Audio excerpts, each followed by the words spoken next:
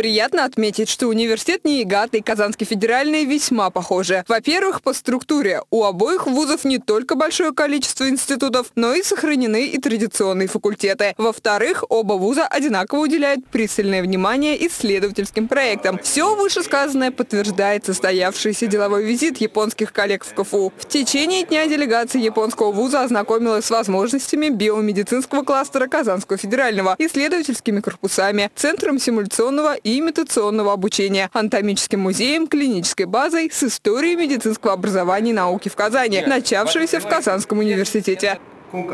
Университет НИИГАТа рассматривает возможности расширения сотрудничества с КФУ, выходящие за пределы медицинского направления. Сейчас задача на будущее состоит в том, чтобы определить, на каких биомедицинских темах сходятся интересы двух вузов, и уже исходя из этого формировать будущие совместные исследования. Но все это не просто слова. Цели и планы закреплены в соответствующем соглашении, которые заключили обе стороны в рамках визита. Согласно меморандуму и договоренностям сторон, взаимодействие Конвенция будет предусматривать академические обмены исследователей и студентов биологических и медицинских специальностей.